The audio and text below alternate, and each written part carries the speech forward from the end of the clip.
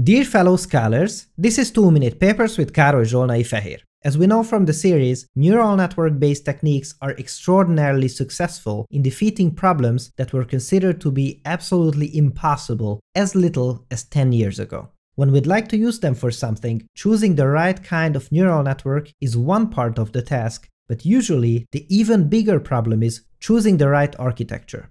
Architecture typically at a bare minimum means the type and number of layers in the network and the number of neurons to be used in each layer. Bigger networks can learn solutions for more complex problems. So it seems that the answer is quite easy. Just throw the biggest possible neural network we can at the problem and hope for the best. But if you think that it is that easy or trivial, you need to think again. Here's why. Bigger networks come at a cost. They take longer to train and even worse, if we have networks that are too big, we bump into the problem of overfitting. Overfitting is a phenomenon when a learning algorithm starts essentially memorizing the training data without actually doing the learning.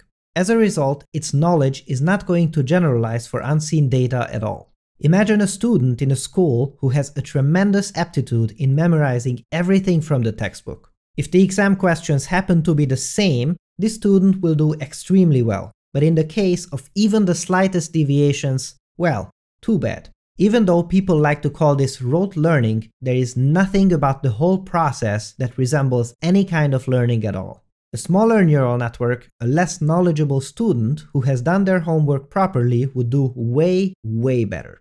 So this is overfitting, the bane of so many modern learning algorithms. It can be kind of defeated by using techniques like L1 and L2 regularization or dropout. These often help, but none of them are silver bullets. If you would like to hear more about these, we've covered them in an earlier episode, actually two episodes. As always, the links are in the video description for the more curious fellow scholars out there. So, the algorithm itself is learning, but for some reason, we have to design their architecture by hand. As we discussed, some architectures, like some students, of course, significantly outperform other ones, and we are left to perform a lengthy trial and error to find the best ones by hand.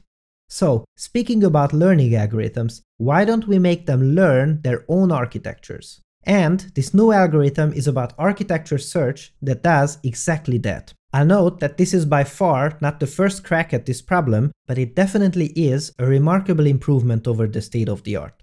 It represents the neural network architecture as an organism and makes it evolve via genetic programming. This is just as cool as you would think it is, and not half as complex as you may imagine at first. We have an earlier episode on genetic algorithms. I wrote some source code as well, which is available free of charge for everyone. Make sure to have a look at the video description for more on that, you'll love it. In this chart, you can see the number of evolution steps on the horizontal x-axis and the performance of these evolved architectures over time on the vertical y-axis.